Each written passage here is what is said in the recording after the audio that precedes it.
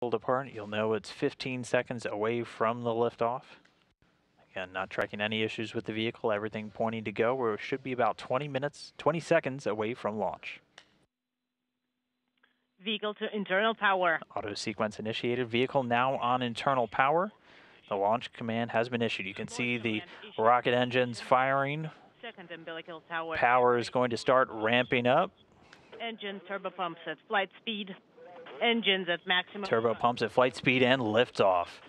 Sergei Ryazanskiy, Randy Bresnik, and Paolo Nespoli rocking away from Baikonur and on their way to the International Space Station. And liftoff. see the very bright first stage engines cutting across the night sky there on Baikonur. 25. 20 seconds into flight. All systems uh, are Getting reports, everything running nominally or normally for the first stage, so getting good first stage performance so far. Soyuz delivering about 930,000 pounds of thrust with those four boosters and the single core engine. Is nominal. They're going to be burning liquid fuel for the first two minutes and six seconds of the flight.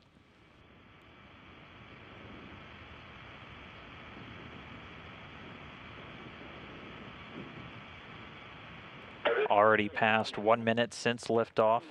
Velocity already approaching 1,100 miles per hour for the Soyuz spacecraft. Your pitch are nominal. Copy. 70 seconds into launch into flight. Everything's nominal on board. And continuing to get good reports from the controllers in Baikonur. Everything looking good with the rocket so far as the first stage continues onwards. Into flight. Everything's nominal on board.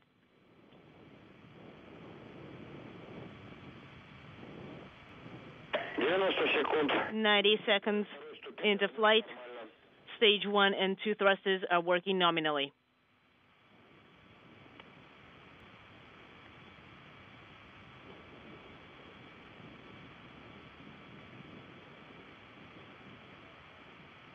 So we roll pitch and you are nominal.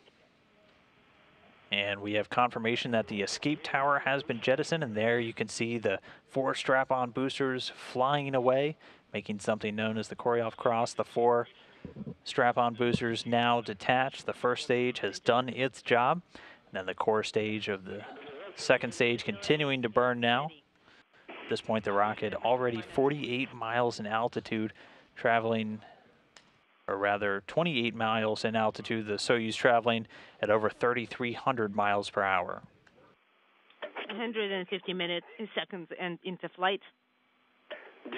Second stage thrusters are working nominally. And everything continuing to look good with the second stage.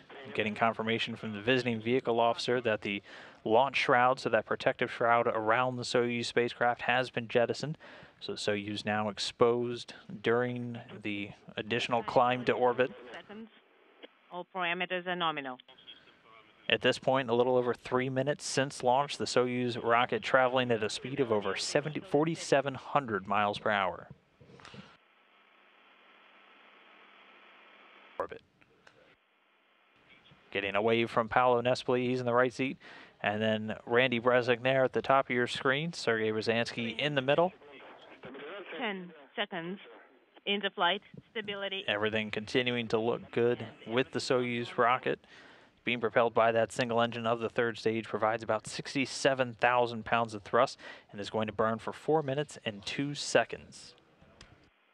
Guys, we read you loud Third stage performance performs an avoidance maneuver and then drops away. All right, work per page 35. And getting confirmation from the visiting vehicle officer, all of the antennas and the solar arrays have been deployed, so that always a good sign. The Soyuz now going to orbit at this altitude that's going to be raised over the next six hours uh, by a series of different burns to place it in close proximity to the International Space Station. But a flawless launch, a flawless opening of the, all of those antennas and arrays. The crew now in orbit control of the spacecraft from here on out will be overseen from the Russian Mission Control Center just outside of Moscow. but uh, a very happy Ryazanskiy, Bresnik, and Nespoli obviously in space and on their way towards the International Space Station. And you will be sending the RDR, RDR command via KRL command, command data link in 10 seconds.